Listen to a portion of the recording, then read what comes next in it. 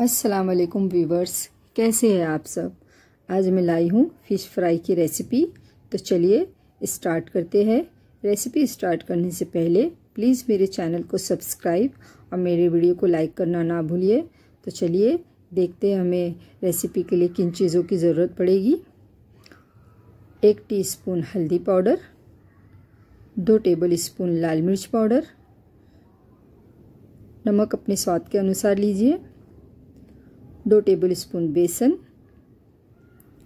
One teaspoon अदरक लहसुन का पेस्ट इसमें थोड़ी हरी मिर्च भी है वन टेबल स्पून विनेगर मछली को साफ़ करके रखा है मैंने अच्छे से धो के रखा है।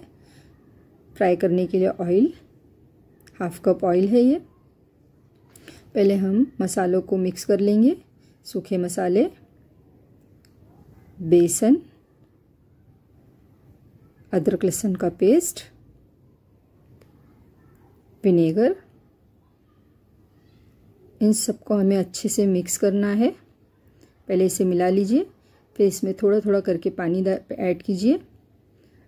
पानी एक साथ नहीं डालना थोड़ा थोड़ा करके डालना, नहीं तो आपका मसाला पतला हो जाएगा। मैंने दो बार करके डाला है थोड़ा थोड़ा देखिए मेरा मसाला कितने अच्छे से मिक्स हो चुका है। अभी रेडी है। अब इसे हम फ़िश के ऊपर लगा लेंगे।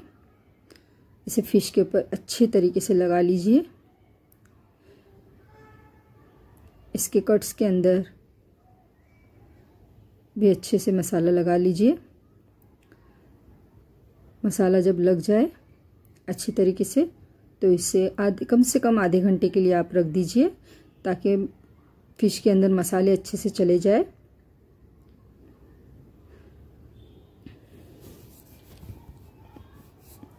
अब यहाँ पर हमने तेल को गरम कर लिया है।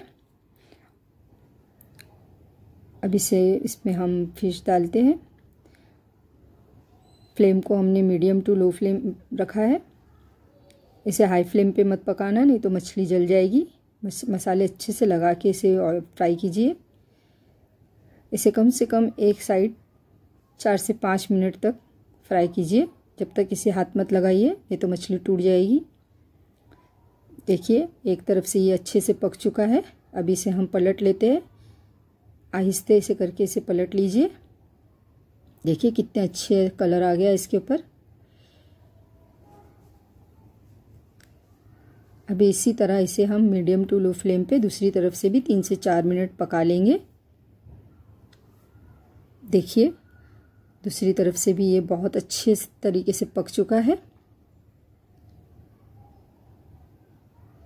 बस, अब हम फ्लेम को करते हैं बंद और इसे डिश आउट करते हैं।